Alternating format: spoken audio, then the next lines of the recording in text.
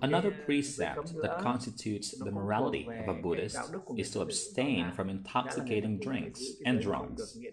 The intoxicants here are wine, drugs, heroin, and alike.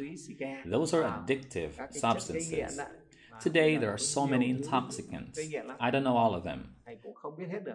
But if anything affect physical health, personality, and wisdom, Buddhists are not allowed to use them. They will badly affect and deprive one of his personality.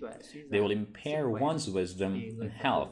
So Buddhists are all prohibited to use them because Buddhism really appreciates and treasures wisdom. What affects our physical health will also affect our wisdom. So Buddhists are prohibited from being addicted to everything that causes physical diseases and mental problems affecting their wisdom.